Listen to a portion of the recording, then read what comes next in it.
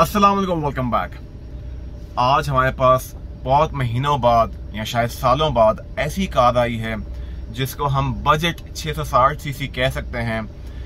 जिस 660 सीसी में मैं मौजूद हूँ इट रिमाइंड्स यू और gives you a feeler like Suzuki Mehran मगर बॉस की अपनी ही एक बात हुआ करती थी, मगर ये उस जैसी एक 660 सीसी महसूस होती है।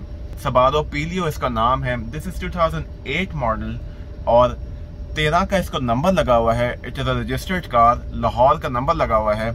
इसकी डिमांड हम लोग कर रहे हैं fourteen lakh seventy five thousand की बात करते चलें तो सामने दो हेडलाइट्स मौजूद हैं बम्पर के अंदर जो हैं दो रिफ्लेक्टर लाइट्स मौजूद हैं, और नीचे आपके पास दो फॉग लाइट्स मौजूद हैं। आपको ओवरऑल जो कार देखने को महसूस होती है कि वो सीधी सीधी लाइंस जा रही हैं, कोई कर्व्स वगैरह यहाँ पे मौजूद नहीं है ऑल तो यहाँ पे एरोडायनामिक्स के लिए इन्होंने बोनेट के अंदर हल्का सा यहाँ पे एक बेंट दिया हुआ है, हल्का सा एक छोटा सा कर्व दिया हुआ है। Nevertheless overall feeler of the car is very simple simpler times 2008 की ये जापानी छः सौ साठ सी यहाँ पे है। राइट फेंडर में ऑब्वियसली लेफ़्ट फेंडर में भी यहाँ पे हमारे पास इंडिकेटर के लिए ये मौजूद है। Side mirror is not retractable सादा साइड मिरर यहाँ पे हमारे पास मौजूद है। बिल्कुल यहाँ पे आप देख सकते हैं कि यहाँ पे एंटीना भी इसका लगा हुआ है। और यहाँ पे जो है हमारे पास एयर वाइज़र एक लगा हुआ है फ्रंट के लिए और वहाँ भी फ्रंट के लिए लगा हुआ है, ठीक है? पीछे एयर वाइज़र हमारे पास यहाँ पे नहीं लगा हुआ, ठीक है? उसके साथ आप हैंडल्स देख सकते हैं, ये काले हैं एग्जैक्टली लाइक सजूकी मैदान। मैं बार बार सजूकी मैदान से इसको इसलिए कंपेयर कर रहा हूँ क्योंकि इसका ओवरऑल जो कार का एक बॉडी शेप है या जो एक फीलर है सजूकी मैदान जैसी है 2008 मॉडल है ये। उसके साथ आप पिछले शीशों की बात करते चलें तो पिछले शीशे जो हैं वो टेंट हैं और so is the windscreen as well और हमारे पास यहाँ पे बैक वाइपर की सहूलत मौजूद है पीछे। You have a monogram of Subaru Pleo but let me tell you कि ये स्टिकर लगा हुआ है। ठीक है? कोई जेनवन एम्ब्रोस्ड मोनोग्राम पीछे यहाँ पे महसूस नहीं होता। और यहाँ पे दिखाई दे रहा है कि डिग्गी भी आप जो है अंदर से नहीं खोल सकते। चाबी से आपको यहाँ से खोलनी पड़ेगी। अच्छा जी ये कार जब मैंने ख़रीदी तो इसकी ये पिछली लाइट टूटी हुई थी ठीक है तो ये मुझे पाँच हज़ार रुपये की मिल गई जिससे ये पता चलता है कि पुरानी जो छः सौ साठ सी सी हैं एट टाइम्स आपको उनकी जो चीज़ें हैं काफ़ी सस्ती मिल सकती हैं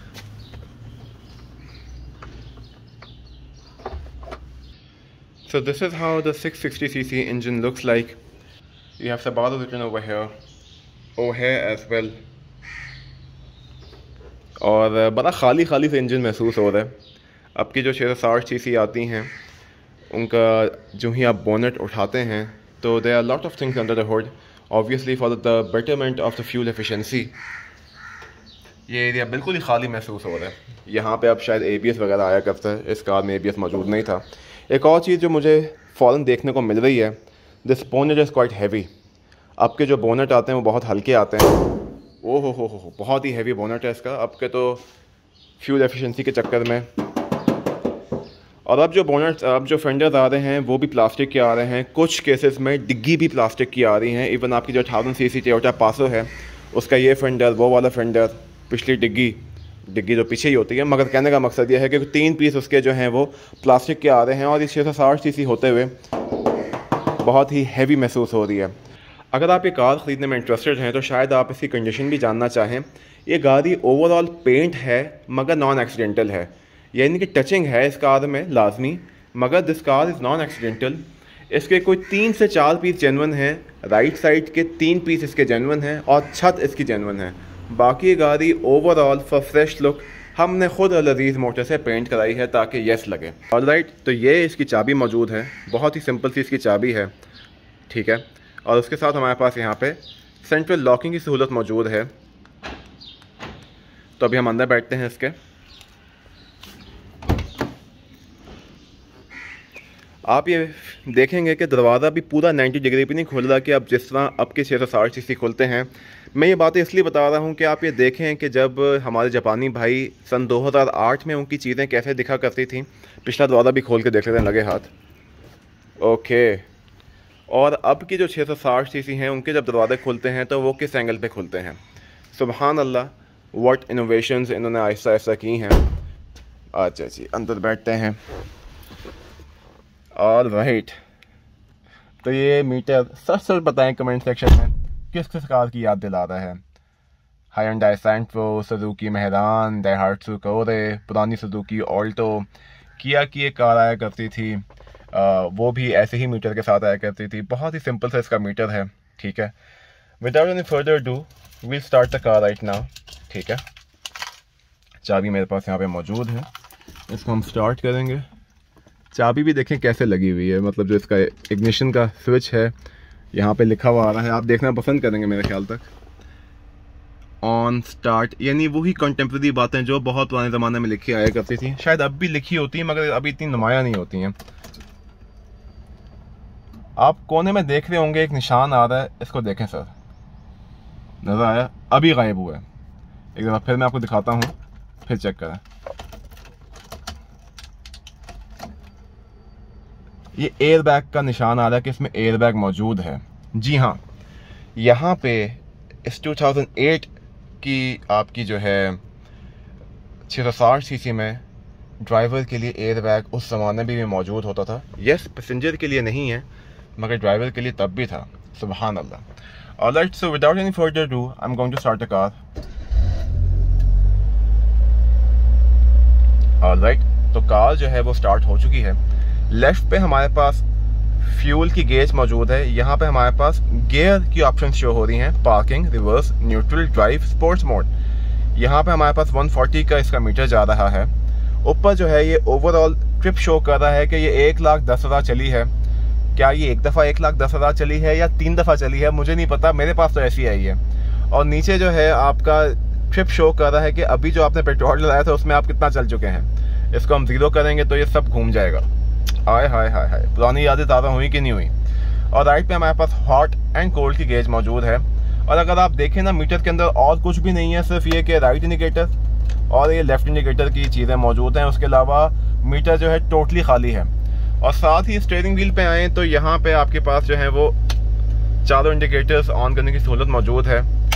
मैं शायद पहली दफ़ा ऐसा कोई स्विच लगाया है हैजर्ड लाइट्स का, कि जो ऐसे ऑन होता हो।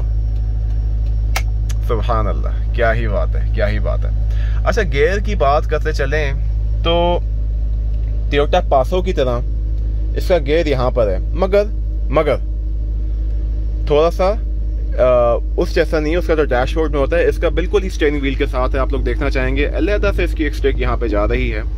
एंड इसको लगाने के लिए ना, इसको हल्का सा पीछे करना पड़ता है। आजकल के जो नए गेयर आ रहे होंगे तो आप बस ऐसे एक बटन होता है, ऐसे दबा के नीचे करते हो। इसको थोड़ा सा करना पड़ता है, आप देखिएगा। ये हल्का सा पीछे आया और ये रिवर्स गेयर मगर, इतनी पुरानी कार और इसके अंदर आपके पास भाईजान बैक कैमरा मौजूद है। जी हाँ infotainment system with back camera इसके अंदर मौजूद है। थ्री डी प्लेयर की भी ऑप्शन है। एंड लाइक वाइज अगर आपने न्यूट्रल करना है तो हल्का सा पीछे न्यूट्रल हल्का सा पीछे ड्राइव ठीक है? ऐसे ऊपर ऊपर जाते हुए ये न्यूट्रल तो ऊपर चला गया है। ड्राइव पे भी आ गया है, मगर अगर रिवर्स पे जाना है तो हल्का सा पीछे ये, और पार्किंग पे जाना है तो ऊपर नहीं कर सकते, हल्का सा ऐसे ये करके सुबहान अल्लाह ये पार्किंग पे, ठीक है? अगर आप यहाँ पे इसकी कोशिश पे गौर करें तो यहाँ पे आप देख सकते हैं इट्स ग्रेन कलर ठीक है? जो कि छत के साथ हमारे पास यहाँ पे ये कलर इसका मैच हो रहा है। ओवरऑल आप ये फील करें कि पूरा एरिया ब्लैक है। Even the dashboard is also black as well और ये वाला एरिया भी ब्लैक है। कोशिश तो चलो यहाँ पे पाकिस्तान में शायद हुई हुई है इसकी। मगर जनरली इन्होंने उस ज़माने के लिहाज से भी इस कार को हल्का सा खूबसूरती का टच देने की कोशिश की है। टू टोन इंटीरियर दिया हुआ है। ये इस, ये जो, ये एरिया है, इसको छत के साथ मैच किया गया है। अलबत् पीछे आप देखें, पीछे जो है वो अन्य ब्लैक ही जा रहा है। स्टेयरिंग व्हील के बिल्कुल राइट पे यूजली अब जो जापानी गाड़ियाँ आती हैं छः सौ साठ सी वो ऑप्शन के साथ लदी होती हैं, मगर यहाँ पे इतनी ऑप्शन नहीं है। उसके बावजूद एडजस्टेबल हेडलाइट्स की ऑप्शन मौजूद है जनाब 2008 में। अभी आप देखते होंगे कि ये फाइव तक जाता है, मगर इस कार के अंदर ये सिर्फ़ थ्री तक जा रहा है। ये एरिया भी कंपैरेटिवली खाली है, ना कोई सेंट्रल लॉकिंग की सहूलत मौजूद है, ना कोई और चक्कर, मगर ओवरऑल इसको आप खोलेंगे, बंद करेंगे तो यहाँ से आप सेंट्रल लॉकिंग कर सकते हैं। शीशे भी इसके सादे हैं पावर विंडोज़ नहीं हैं। गुड फॉर बॉडी बिल्डिंग इसके जो एसी के वेंट्स हैं वो भी ऐसे प्लेस्ड हैं कि आपको सजूकी कल्टस की याद दिलाते हैं या कोरे वगैरह की याद दिलाते हैं। मैं एसी के ऊपर एक छोटी सी बात लाजमी करना चाहूँगा कि कल रात जब मैं इसको चला के ला रहा था आई कुड नॉट सी कि मैंने क्या ऑन किया हुआ है। किस स्पीड पे मेरा एसी चल रहा है वन पे है टू पे है थ्री पे है, कैसे चल रहा है, क्योंकि इसके अंदर कोई लाइट मौजूद नहीं थी। विच टेल्स अस के आहिस्ता आहिस्ता जो हमारी इंडस्ट्री है कार इंडस्ट्री है ओवरऑल उसने कितनी तरक्की की है और किन किन चीज़ों पर फोकस किया है खूबसूरती के मामले में और आसानी के मामले में। और इसकी बहुत ही आला शो है, इसका एसी बहुत ही चिल है गिवन के इतनी पुरानी कार है, मगर एसी जो है वो बहुत ही मददगार है। स्टोरेज स्पेसिस की बात करते चलें तो यहाँ पे बहुत ही पतला सा खाना मौजूद है, जिसमें छोटी सी कॉपियाँ, छोटा सा फ़ाइल आ सकती है। यहाँ पे आप कॉइन्स वगैरह रख सकते हैं। यहाँ पे आप जो हैं कुछ छोटी सी चीज़ रख सकते हैं, बड़ा क्यूट सा खाना मौजूद है। उस ज़माने में भी इन्होंने इस एरिया को फुली यूटिलाइज़ किया गया है। और यहाँ पे आप जो है, कुछ टिश्यू पेपर का बॉक्स वगैरह रख सकते हैं। यहाँ पे अगर आप वो सूटे वाली चीज़ लगा लें तो सूटा लगा सकते हैं या कोई चार्जर वगैरह लगा सकते हैं। ओके एश वे जो है, वो पूरे हाथ में ही आ गई है तो इसको बड़ा ध्यान से खोलना पड़ेगा। ठीक है? बहरहाल काफ़ी भरी एश वे की सहूलत मौजूद है। This area is overall a bit um मगर यहाँ पर आप एक ग्लास रख सकते हैं। वो भी बड़ा केयरफुली आपको रखना पड़ेगा। लंबा ग्लास वगैरह यहाँ पे नहीं रख सकते आप। उसके साथ नथिंग ओवर है यहाँ पे कुछ भी नहीं है। यहाँ पे बस एक फ़ाइल वगैरह रखने की सहूलत मौजूद है। ऐसे लोगों के लिए यहाँ पे बस एक छोटा सा खाना मौजूद है कॉइन में। और पीछे जो है वो पॉकेट दी गई है। अगर यहाँ तो आप बैठ सकते हैं या पॉकेट में कुछ रख सकते हैं।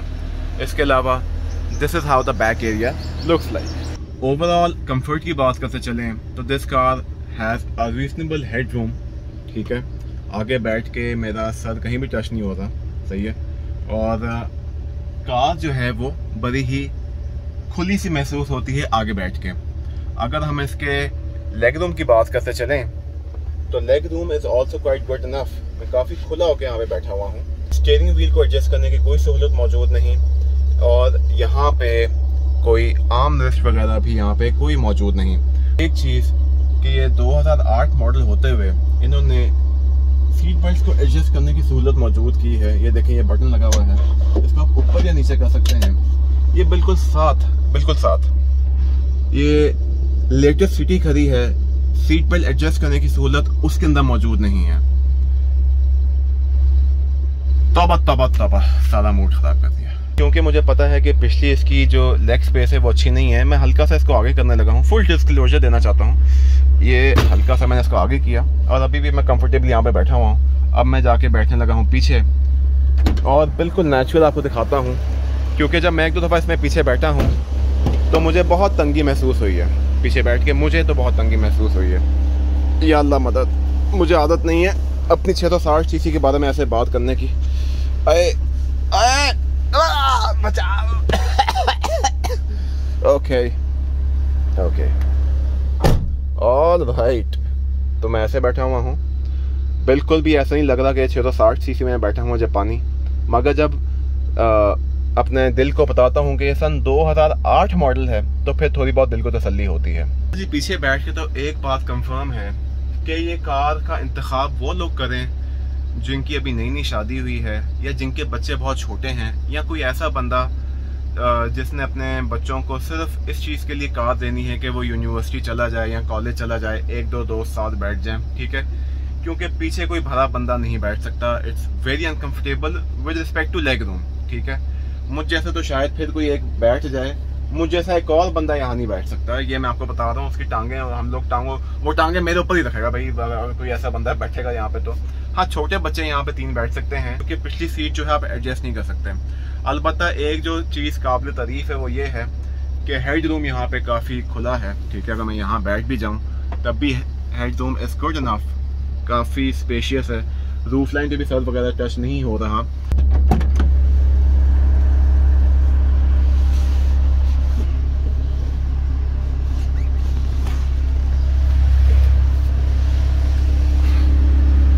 ऑल राइट हम बाहर आने में कामयाब हो गए। अच्छा जी, डिग्गी को खोलने के लिए यहाँ पे कुछ मौजूद नहीं है, जैसे कि मैंने बताया था आप लोगों को।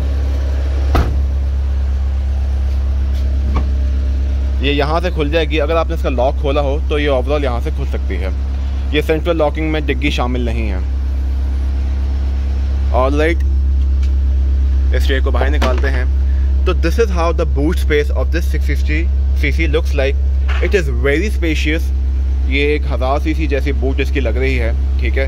इस वजह से ये पिछली सीट जो है, ना ये पीछे जा रही है, ना आगे आ रही है, कुछ नहीं इसका हो सकता।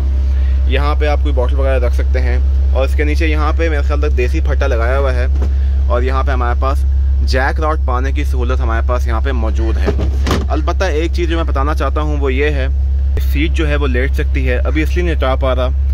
क्योंकि यहाँ से ये हैंडल तो खुला हुआ है, मगर यहाँ पे ये हैंडल पोशिश के नीचे आया हुआ है। तो इससे ये पता चलता है कि ये सीट लेट सकती है आगे, और यहाँ पे लंबी बूट स्पेस के लिए आपके पास एम्पल जगह बच सकती है। All right so I am going for a very small drive जनाब, कार चाहे जैसे भी है स्टेयरिंग आपका जो है वो पावर है। This is how my point of view looks like और बहुत गर्मी है बाहर। आपको शायद बाहर देख के फील भी हो रहा हो। अभी सुबह के पौने ग्यारह बज रहे हैं। आज सतारह जून है और एसी मैंने इसका वन पे रखा हुआ है। यानी वन पे एसी रख के भी गुड इनफ है। अभी मैंने टू पे कर दिया है।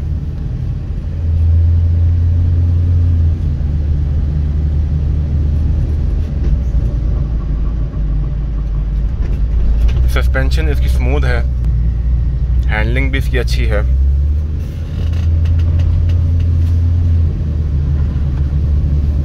नाइस चलने चलाने में ठीक है।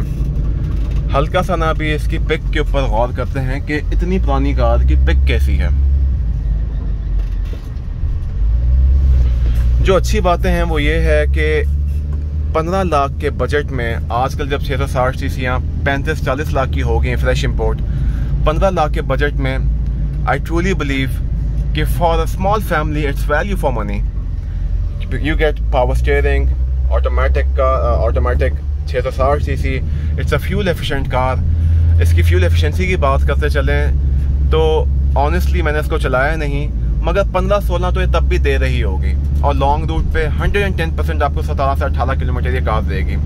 रही बात इसकी बाकी सीधे सीधा फीचर्स की, जैसे इसके शीशे रिट्रैक्टेबल नहीं हैं, या ये पावर विंडोज़ नहीं हैं ये सारे काम मुंडगुम्बी रोड या बिलालगंज से किए जा सकते हैं। पंद्रह पंद्रह हज़ार रुपये में, बारह हज़ार रुपये में ये सारे काम किए जा सकते हैं। मैं अगर अपना एक्सपीरियंस इसका बताना चाहूँ तो I'll buy this car any day any day over a manual Santro Suzuki Alto Cuore Mehran मैं हमेशा इस कार को प्रेफर करूँगा, क्योंकि ऑटोमेटिक है और अभी सुबह के 11 बज रहे हैं और तब भी आप ये लाहौर देख सकते हैं कि यहाँ पे जो है रश जो है वो ख़त्म नहीं होता।